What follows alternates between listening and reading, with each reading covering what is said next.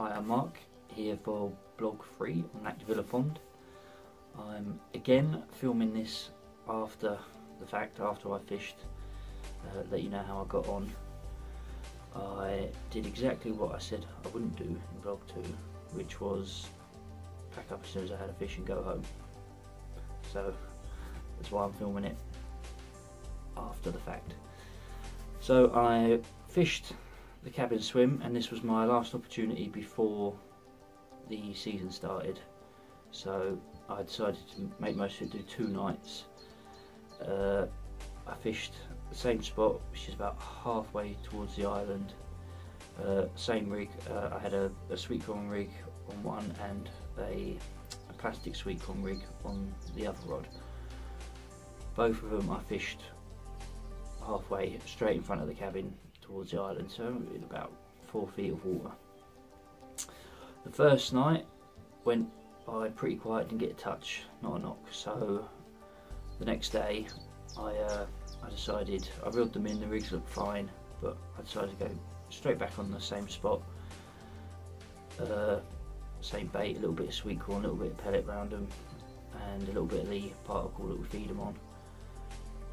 And I just, but I just as I was going to put the I put the first rig out, the sweet corn rig, and as I was going to put the second rig out, which was the fake plastic sweet corn, I decided that I was going to change it. I quickly tied in a new rig and decided to put a bit of meat on, a bit of lunch meat, because I thought with the lunch meat I've got half a chance of catching the sturgeon. And I really want to catch what we call Captain Sherman, so I decided that I'd have a, a shot of catching either a carp or a sturgeon. So hedged my bets as it was the last night. So I switched to a luncheon meat. Again, a little size 8 hook, same setup, in inline leads, uh, about, I don't know, half a metre to a metre of tubing, flying back leads, back leads, the normal. So as I'm, I got the rods out, put the meat out, and it was about 9.30 at night, I got a couple of beeps. So as I then started to put my shoes on a couple more beats, so I knew there was a fish on, so I quickly tried to get my boots on, and then it actually screamed off. So I ran out, hit into it, and straight away I knew it was a big fish. It really slow, just a rod tip knocking really slow but powerful runs that you couldn't stop. So didn't try to bully it. So as I'm playing it, I'm thinking this is this is a big carp, and I'm playing it as I start to get it in. It's obviously dark. I'm shining the head torch down, and I see a flash of it. And I thought, if that's a carp, that's a massive carp. And um, it took off again. really long, hard fight, and I I wasn't going to bully it. I wasn't going to rush it, and I brought it back in again.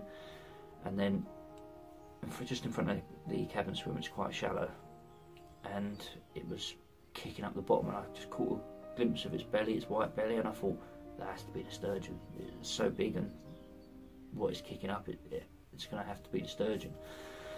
So again, I see it a few more times and I started to convince myself it was the size of it, it had to be the sturgeon because Captain Sherman, he's, he's done up to 63 pound and really long, like a barrel.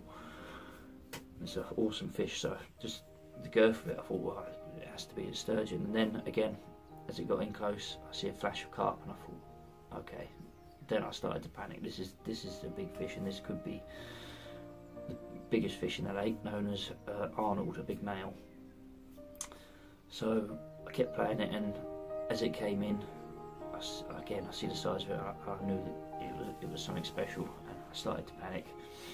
So stayed calm, and eventually, when I got in the net, didn't have to look too hard to see that it was Arnold. And he'd previously done 70, I think it was 71, about 72 pounds. So I knew it was an absolute monster, and I was already excited. So straight away I got on the phone and I rang. Uh, I rang my mum and dad who happened to be passing at that time to come and help me take the photos.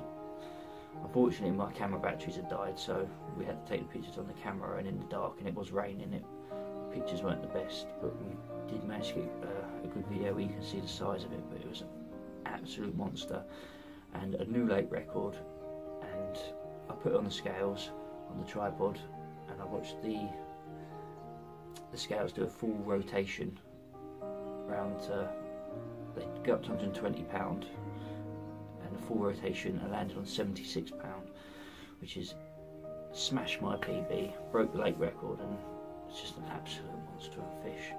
So I was over the moon. So we took some pictures which just it was so big you just couldn't hold it out. The pictures don't really do it justice. I couldn't you just couldn't the weight of it you couldn't hold it out. So tried to get in the water for some water shots which is where we got the video but absolutely over the moon. So put I put him back and uh, decided I'm not going to do better than that so I packed up and went home as I said I wouldn't do again but as I say I got in the water, was absolutely soaked over the moon so I'm gonna stick the videos on and enjoy. Thanks again.